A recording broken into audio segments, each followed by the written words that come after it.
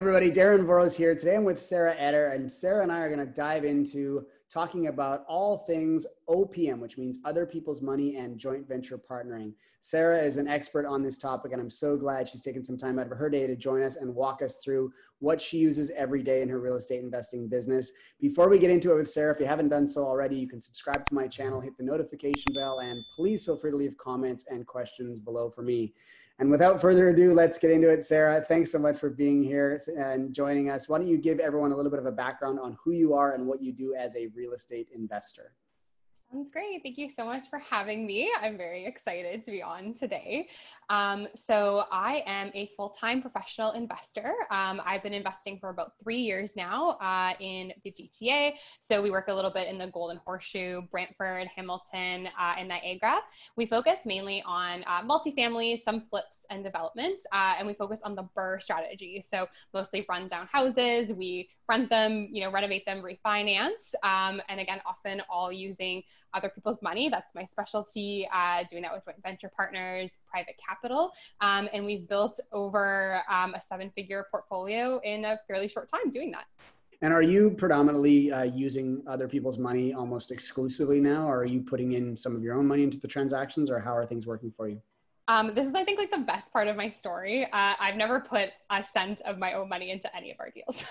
All right, well, let's talk about that because I yeah. think that's truly unique um, especially when people are starting out. Because I know there are a lot of people that don't have necessarily a lot of capital to invest in real estate. And one of the things that I always say is you don't necessarily need capital. You do need to bring something to the table. So, what did you bring to the table in the beginning when you didn't necessarily bring capital? That's an excellent question. Um, and it's great for, yeah, like you said, like the viewers that uh, maybe are younger, don't have a lot of capital saved up, you can bring a lot of skills uh, to the table that will be super beneficial to your money partners. Um, I was quite young, I was 26 when I got started. Typical millennial, didn't have a lot of cash, didn't have a lot of much else to bring to the table but time and energy. Um, but I also got experience with a property management company. So, mm you know, I learned not just about the tenants in general, but you know, home inspections um, on big commercial buildings. I was a part of. I got to learn about renovations, maintenance, upkeep of these larger buildings, how we build utilities, really practical everyday stuff about running these multis. And so for me to, you know, kind of take that knowledge, go in, raise some money and say, yeah, you know what?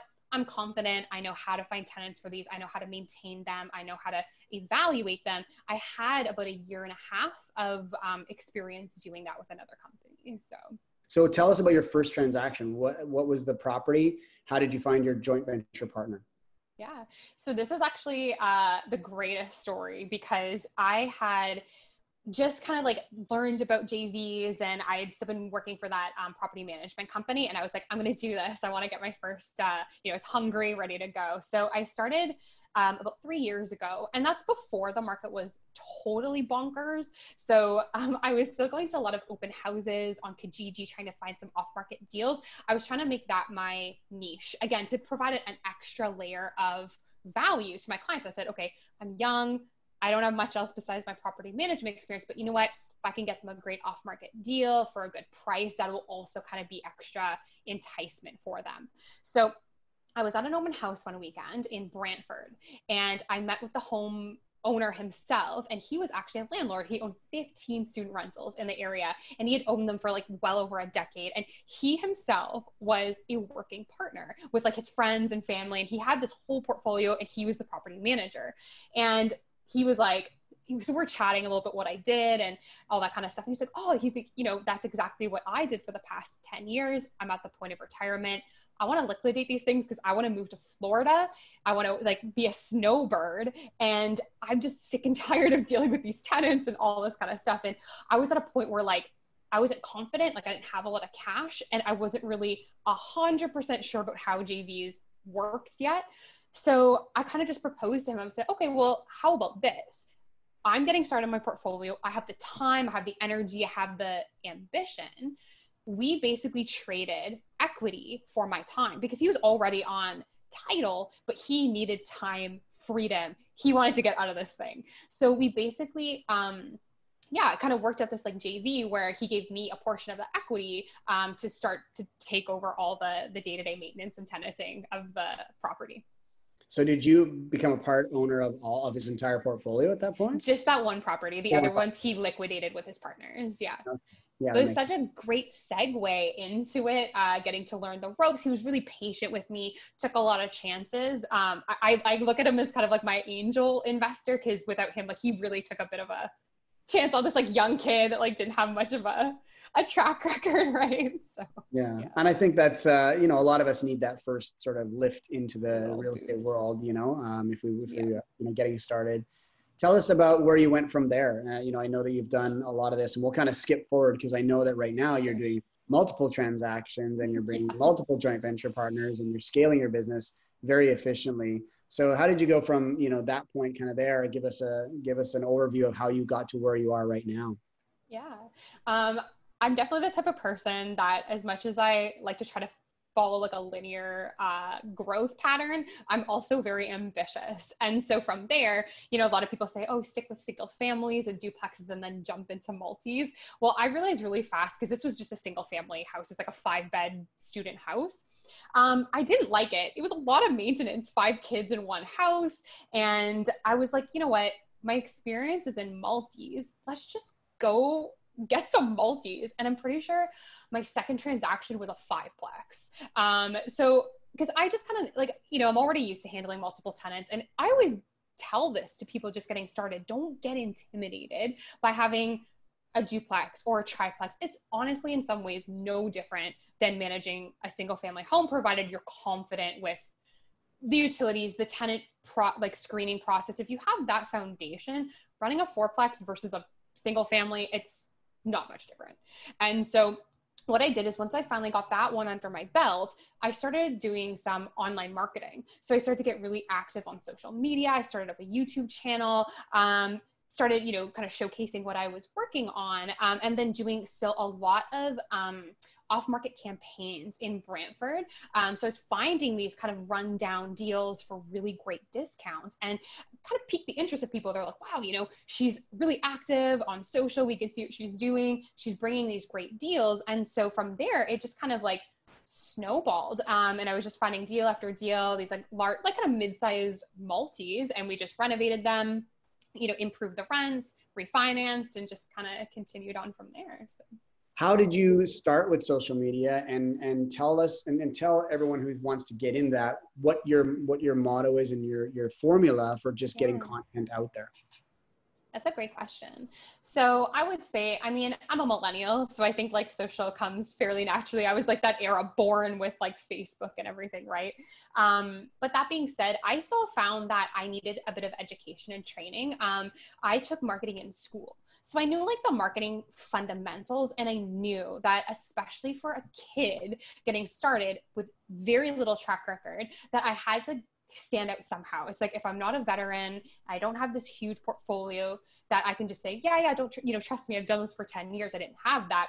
I thought, okay, like what else can I do to get people to know me, see me, trust me? So I started a bunch of like educational um, channels. So I started doing like webinars and teaching people about private capital, teaching people about the BRRRR strategy, um, kind of like attracting attention that way, um, more by taking like this kind of educational um, approach. And I actually ended up taking a lot of non real estate focused marketing training. I spent a lot of money on myself, like in the beginning of my portfolio, because, you know, I thought I, I need to invest in myself if people are going to invest in me. And so I took like uh, social media marketing, email marketing courses, Instagram courses, just to get really savvy about what I should be posting when. And because there are small little tips and tricks that definitely do help your following and help that kind of stuff.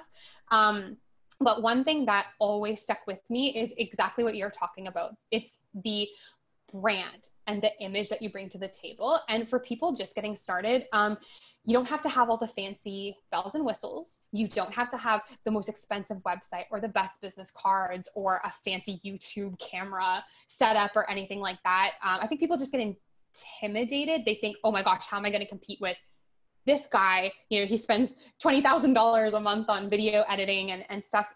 People actually like seeing the real you. They like seeing your genuine personality. They like kind of seeing behind the scenes a little more unscripted. They want to know who you are yeah, the numbers and the deals are important, but I think if you really just go out there and start to show people what you stand for, what you're interested in, like all that kind of more personal stuff, um, you'll get a more engaged following a lot faster. And did you find r- right away when you went onto social media that you had a bit of uptick in people connecting with you, um, or did it take some time? And and how did you start to foster those relationships? Yeah, I think that's also a good question. I think people think that, hey, I've got the YouTube channel, I've got the Instagram account, where are my followers? Like, they're just supposed to be following me. Um, and no, I mean, it was a few months of like, I call it like grinding, you know, showing up every day, posting. And I always tell my students that sometimes it feels like you're yelling into the void when you first start on social. You feel like you're putting in all this effort. You're just like, hello, like, is anybody out there actually listening to me? Um, Cause it's just not how like the algorithms work on social. It's not that you just start an account and all of a sudden you get a bunch of followers. You have to be consistent. You have to track your results. Um, and I think that the more you can leverage other people's followings, that's when you really start to kind of trick and override the system. So I got smart. I started going to networking events and being like, hey, I saw you on a podcast and like trying to get on other people, like just like today, for example, like, you know, mm-hmm. getting on people's YouTube channels, getting on other people's podcasts and getting seen that way um, really started to bump up my following. And then from there, you know, now I had a foundation and people stayed because they enjoyed me and shared my content and things like that. But sometimes you do have to inject a little bit into it through other people's followings or paid Facebook advertising, stuff like that to really kind of boost up you know what's going on yeah my cat just jumped on my thing sorry my dog's barking in the background too so pet bonanza going on um, let's yeah. let's get into specifics on social which ones do you like the best for real estate investors which ones do you use the most great question um yeah and, and i tell people like obviously there's so many different platforms i think that's also a super intimidating factor they're like I don't know, I heard TikTok's a thing. Like maybe I need to get on TikTok or what. And, you know, I think we're always attracted to kind of like the shiny object syndrome. I think it's way more important that like, if you are limited on time, especially if you have a nine to five job and you're trying to phase into like becoming a full-time investor and you, you know, are really limited for the time, better to have quality content on one or two platforms and do it really, really well than try to do a hundred different platforms. And I see people make that mistake a lot. So I'm really only on three platforms, which I know sounds like a lot, but I utilize my time smart. So I use Facebook and Instagram. Um, those are my favorite. And then YouTube. Um, the reason I say to people, listen, if you're going to do Facebook, do Instagram because Facebook purchased Instagram last year. And so now you can share content automatically between the two platforms. And that's why I say about like, you know, saving time instead of me doing a post for, you know, YouTube and a post for this and a post for that. It's like, no, I do one post on Instagram. I share it on my Facebook. You know, I, I try to um, minimize how many posts I'm doing per day because I can share them across multiple um, platforms. And I started doing that with LinkedIn actually as well. Um, LinkedIn is kind of like the new platform, I would say, um, for investors like us, because, you know, we're really targeting professionals, people in corporations, you know, tend to be the people with the money. I mean, let's be honest. If you're going to go after professionals, I mean, what better place to network on than LinkedIn? And they now have kind of like a news feed, like the same way Facebook does. So same thing. I mean, I, I take some of my posts from Facebook, copy and paste, slap them on LinkedIn. There's a way you can be on these platforms, um, but you don't have to spend, you know, hours doing individual posts per platform what do you find is the most effective kind of post? Um, do you find that it's a a story? Is it a uh, you know a, a pictures and a video? I mean, I'm guessing it's like something with with you. Uh, is it? I know that I see your stuff and you're like, hey, realtors, I'm looking for 15 new properties this year. Like, get me some deals. You know? Yeah, yeah, like what is what's the most effective way? I mean i guess you could break it down in a couple different categories because we're talking about your your marketing to essentially investors and also yeah. to you know realtors and people bringing you off market deals. Definitely. so how do you do those in in separately? That's a awesome question because uh, when i'm training people because now i like train people on social because so many investors are like help me do what you do. Um i you know you do although you can share posts amongst platforms, you also have to be careful that you don't share every single post like because sometimes like different platforms are designed to be used in different ways so i would say that like on Facebook, my most successful posts are the ones where I'm either sharing updates about my portfolio. Everybody loves a good before and after.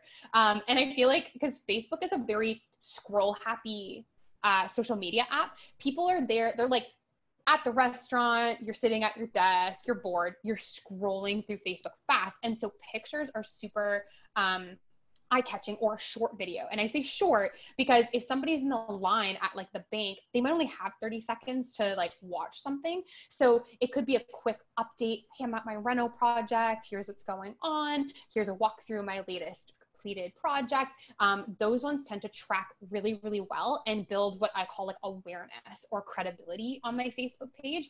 I usually get like hundreds of views unboosted. I don't pay ad money for that. Like that's just organic people checking in oh her, her rental looks great i get tons of comments and feedback um, so i love doing that on facebook um, but i tend to advertise for deals i guess more on instagram stories because um, again the platforms are used in kind of slightly different ways because I, again, I think we're trending more towards apps that prioritize video.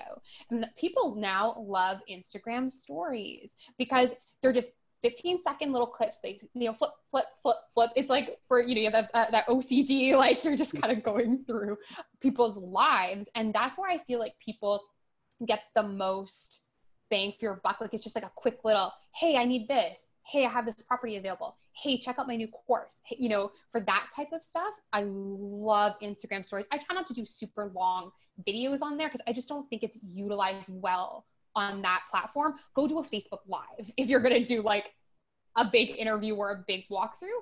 But if you're trying to catch someone's attention for something like, I need a deal, I need an investor, I need this, Instagram stories are amazing for that stuff. I get tons and tons of responses doing that.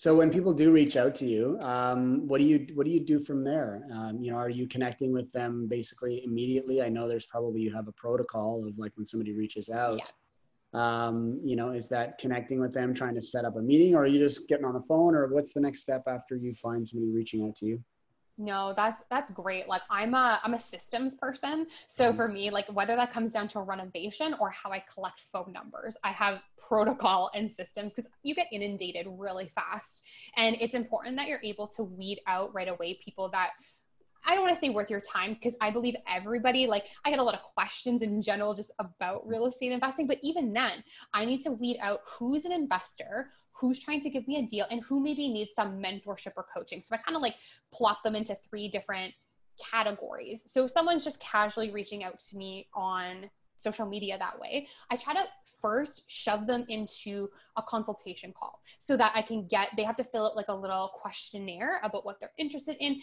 And so that way I can decide, okay, how much time do I need to dedicate to this individual? How quickly do I need to follow up with them? Do I make them like a high priority? Because, hey, they're like, Sarah, I have $200,000. I really want to invest with you now. They kind of move to the top of the list. And then I can kind of funnel through my time accordingly. Um, and like again, it makes it really simple because I have an admin now and we have lots of people reaching out on a regular basis. This makes it really easy for people to help me schedule my calls. I always do a phone consultation first. Um, I feel like it's just number one, you want to build rapport with people. But number two, I really need to get to like the nitty gritty of what they can do.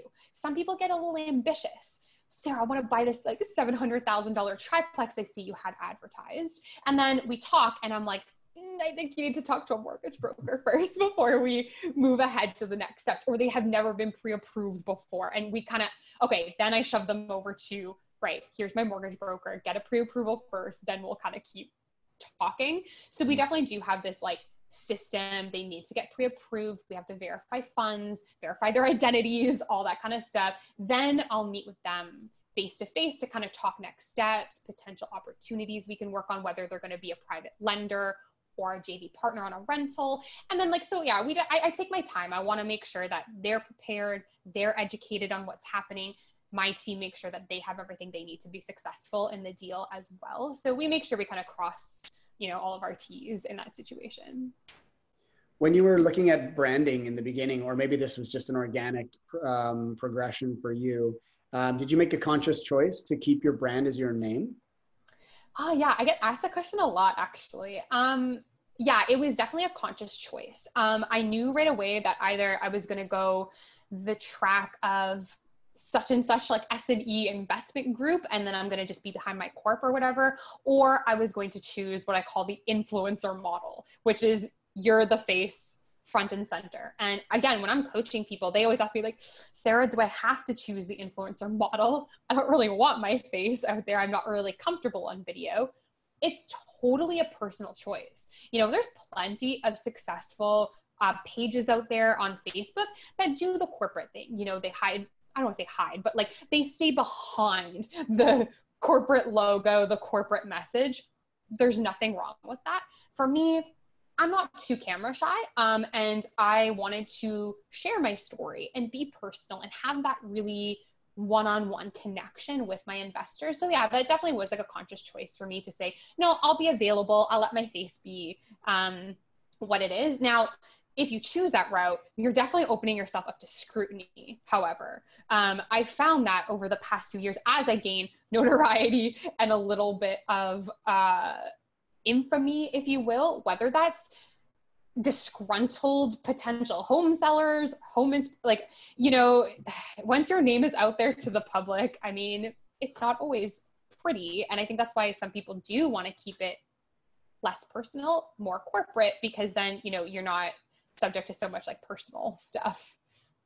Do you find that it's a benefit more than it? I mean, I'm guessing you do, otherwise, you would have switched something up. But I'm guessing because it's so personal for you, people really truly feel like even though you have systems and you have people in place all over the place, it is they're investing with you and you're working together as a partnership. I, yeah, exactly. Like, I mean, this the amounts that are kind of annoying about being a personal face it, it definitely the benefits outweigh that. Um, because you're right i do feel like when people call me they say sarah i called you because i feel like i know you. I have listened to you talk. I have watched your videos. I know about your backstory and your life. And i feel like like they're almost like i feel like you're a friend you know? I feel like i really like get your life and what it is you're doing. And so i really feel like that's been a benefit overall What's your um, what What's your biggest piece of advice for somebody getting into real estate investing that wants to use other people's money and they yeah. want to do that through social media? How how how do they get started? The biggest point of advice I can give you guys, because obviously I can talk all about the different tricks and tips on Instagram to get more followers, but that's not going to help you. I think in the beginning, what is the absolute most important for people just getting started is make sure you have a foundation. Um, and we talked about this right at the very beginning. If you guys don't feel comfortable with construction or property management or uh, property analysis, you need to find that level of expertise before you're raising capital. Otherwise, it's going to be very, very challenging to go to an investor and they say, okay, so and so, what do you bring to the table. You have to have a strength, whether you're a contractor, whether you are um, a mortgage agent, or like something like that, like that you feel like you're confident in one aspect of real estate investing that you can really confidently bring to the table, spend your money there, spend the time. The branding stuff, you can take courses on that. You can figure out and train yourself to become a better social media marketer. But at the end of the day, you need that like expertise and that foundation um, before you go off and try to like raise money from people. Mm. How many times a week do you post to your social stuff? Ooh. I try to post at least once a day on all my platforms yeah. It's just a ritual. You know when you build it into your routine like i i'm an early riser. So if you're a night owl do it at night. That's fine too and schedule it mm-hmm. for like the next morning. But i wake up at like 6 a.m and i'll just you know before i do anything else i'll just you know pump out a couple of posts schedule them for the afternoon and then i'm done for the day. So yeah I know you have uh, tons of great resources on your website and your YouTube channel and everything. So I'm going to leave all of those in the description below. Thank you. Uh, thanks so much for taking the time out of your day to join us and just really walk through uh, how you how you've built your business. I think it's truly inspirational. Um, if you enjoyed the session with Sarah, go ahead and hit the like button below. You can also subscribe to my channel, hit the notification bell, and feel free to leave comments and questions below for me. Uh, you can also check out my website and um, my Facebook and my Instagram. I'm also going to leave those in the description below. Sarah, thanks again for, for taking some time uh, joining us. I, I, really hope to connect with you at some point in person. We've done so a couple of Zoom interviews and we've been chatting a little bit, but hopefully at some point I'll actually get to meet you face to face and get to share some more real estate investing stories. Absolutely. Thank you so much for having me. It's been amazing. Thanks a lot, and we'll uh, talk to you soon. Good.